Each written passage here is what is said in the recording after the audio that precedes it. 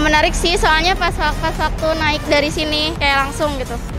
Uh, nama saya Aulia, saya dari SCBD, ingin ke BSD. Soalnya dengan background yang besar, uh, menarik uh, pejalan kaki. Jadi pejalan kaki bisa kepo gitu, pengen melihat ada apa. Nama saya Icam dari Bekasi, mau jalan-jalan aja sih.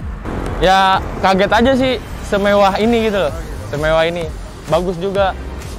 Tapi nggak tahu nanti bakalan menjadi berkerumun atau tidak. Oh, nama saya Dinda, saya dari Blok M.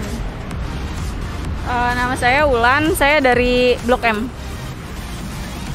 Nama saya Pupu, tadi saya dari Blok M. Menarik banget sih, soalnya ini kan ada di pusat kota Jakarta juga ya, jadi tampilannya juga besar. Jadi bisa dilihat dari sudut mana pun menarik, terus seimbang juga sama uh, papan reklama-reklama yang ada di daerah sini juga.